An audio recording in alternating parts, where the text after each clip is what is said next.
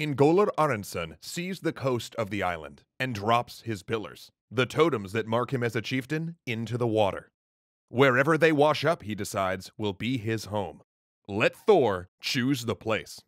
Three years later, the party finds the pillars washed up in a rocky bay. Steam from volcanic springs masks the shore. He christens the place Smoky Bay after its volcanic steam. And so, Ingólfr made his home in a place called Reykjavik.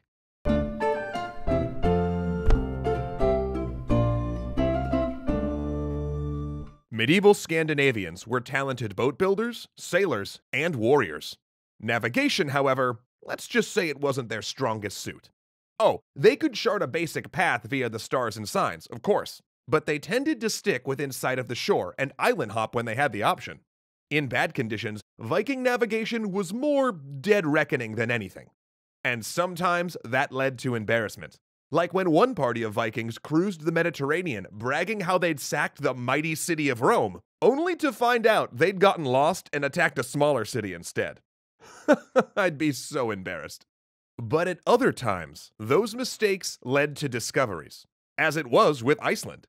The Norwegian who discovered it had in fact aimed at the Faroe Islands and missed.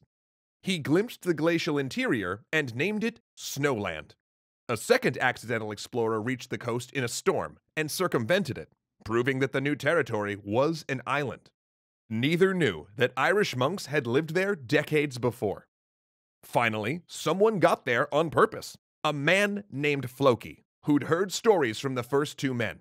He sailed northwest from the Faroe Islands, locating the island by the somewhat dubious method of releasing ravens in different directions and heading towards the one that didn't come back. Still, he got there, even though it won him the derisive nickname Raven Floki. He found the summers pleasant and green, but decided to pack up after the first long, dark winter. Raven Floki returned with stories of a harsh land difficult to settle, riven by glaciers and volcanoes. He named it Iceland. But there was one very attractive thing about Iceland it was free, and in more ways than one. Land was becoming hard to get back home, a fact that may have driven the Viking expansion as a whole. And rising kings like Harald Fairhair were building a centralized state, cracking down on the freewheeling frontier spirit of the Scandinavian homelands. Iceland offered a tempting solution to those who were tired of scratching out a living on shrinking plots of land, those who had been caught up in blood feuds, those with authority problems. Misfits, who didn't fit into Scandinavian society or were too wild for their homelands. And as an added bonus, this island was uninhabited. After all, not everyone who wanted land was willing to stab Anglo Saxon warriors to death for it. That was dangerous. Here there were farms for the taking, with no armed opposition.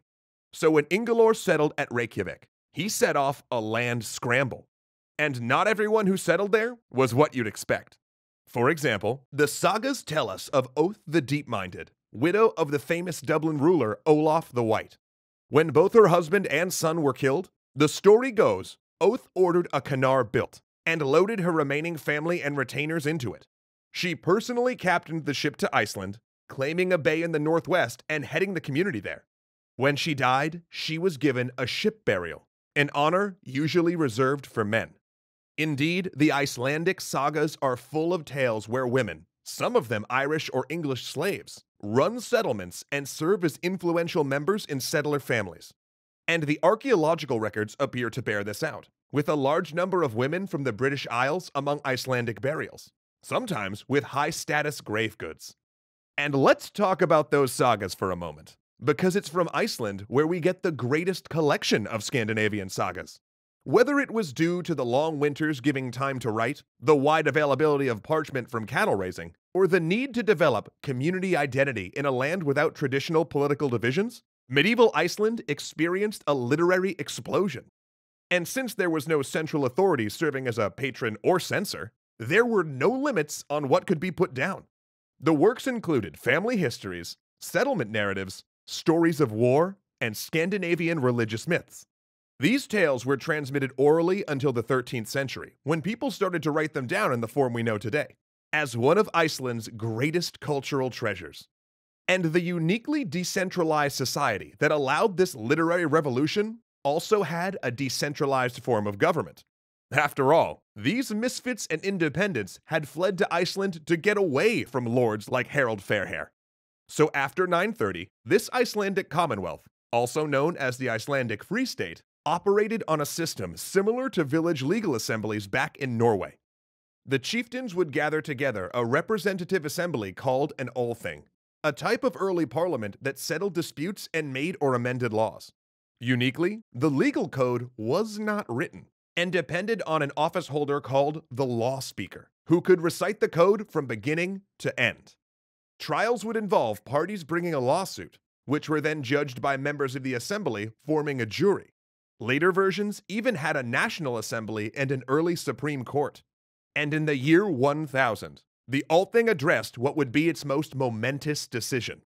Christian missionaries had nearly completed Europe's conversion, and as one of the few pagan lands left, Iceland was under pressure from trade partners to convert. But that was only half the issue. Many Icelanders were now Christian as well, and it seemed like a civil war was brewing.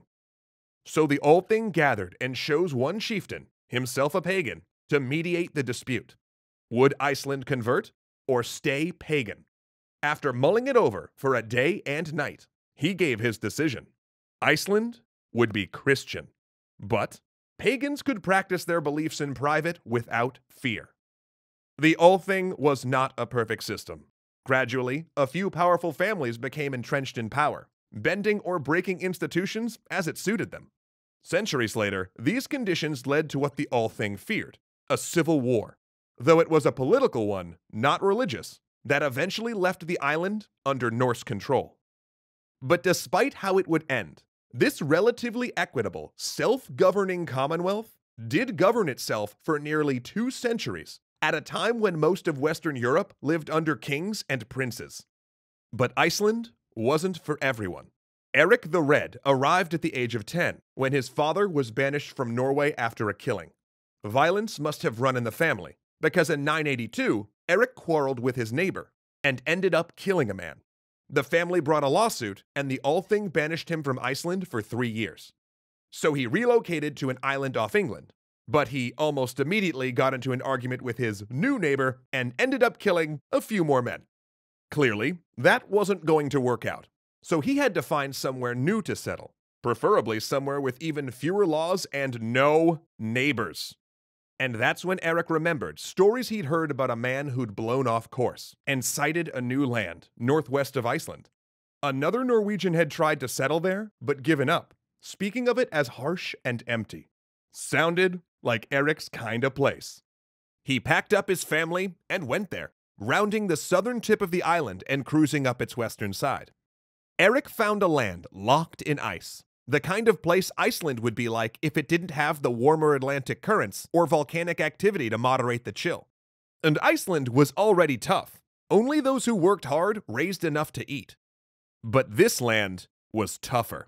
If he wanted to survive here, he'd need more colonists than just his family. Only a community could support human life. In other words, you guessed it, he'd need some neighbors. And he saw opportunity here. Iceland was getting overcrowded, its small areas of cultivated land unable to support the swelling population. So, three years later, Erik arrived back in Iceland to recruit more colonists. Ever persuasive, he spun tales of the lush new land he discovered to the west, where there were farms for the taking and men could truly live free. And like any shady real estate developer, he gave it a name that, while maybe not completely accurate, rang with the sound of prosperity. He called it Greenland.